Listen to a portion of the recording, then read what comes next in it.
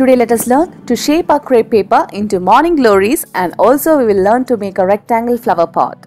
Tools required for our flower, colorful crepe papers, stigma, thread, metal wires, scissor, green tape, glue, cutter and plier. First, fold up the crepe paper lengthwise.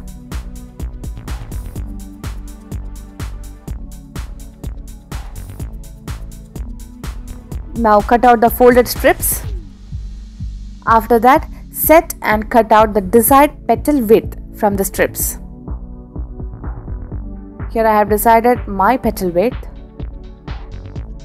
Unfold the strip and apply glue to one end of it like this. Here the folded end will be the base of our flower. Now roll up the strip like this and push it into the glued end pocket and press firmly to fix it. Repeating the same process again to make more flowers.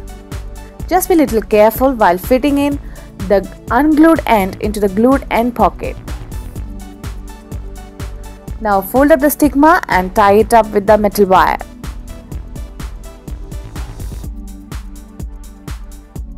Put this inside the rolled petal like this and tie it to the metal wire.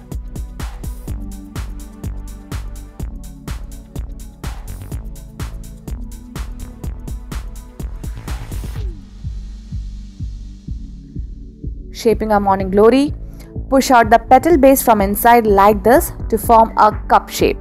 To create frills at the petal end, stretch out the edge of the petals like this as you are seeing it here. Once done, just run your fingers between the two edges to make the frills more heavy and attractive.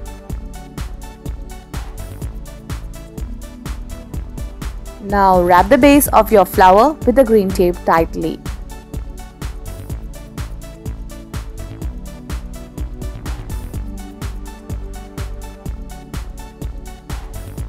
Shaping another morning glory.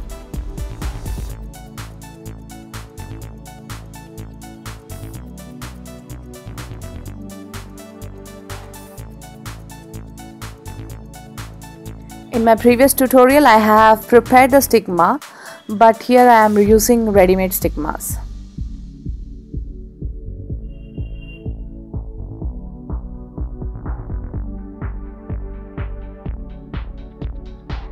While pushing at the base of your petal from inside, try not to disturb the stigma.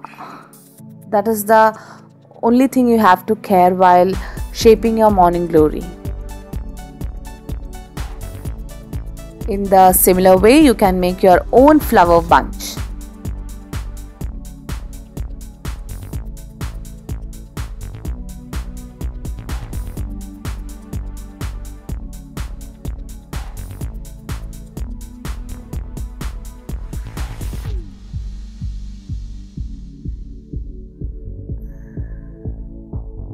This step you are all familiar with.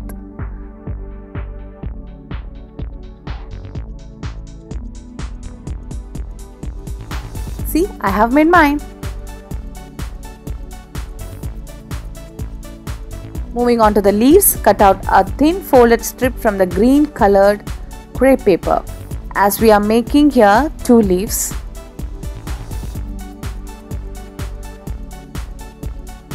Now cut through the folded line again. Sharpen the leaf edges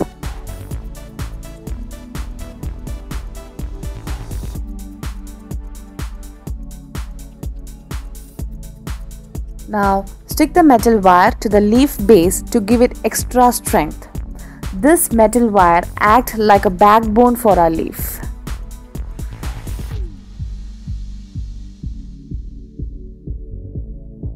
Making the second leaf. For saving time I have already made some set of leaves for this project.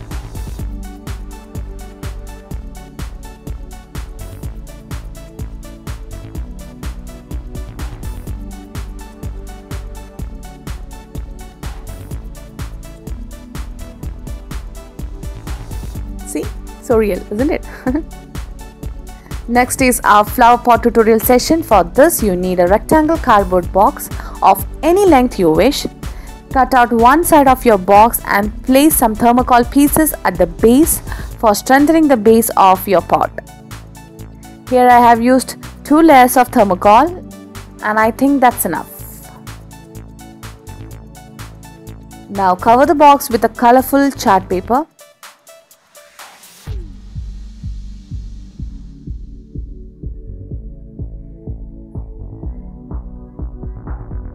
And fill up the box with some soil. Once finished, do little ornamentation if needed using colorful pebbles like I did.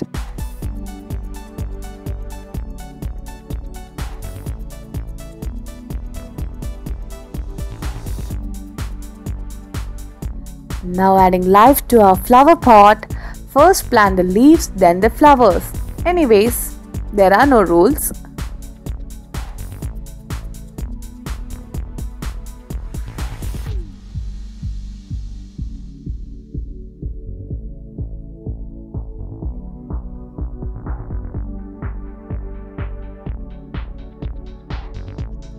And here is a wonderful showpiece item to energize your room. No worries of watering, caring and waiting to see the fully bloomed flowers.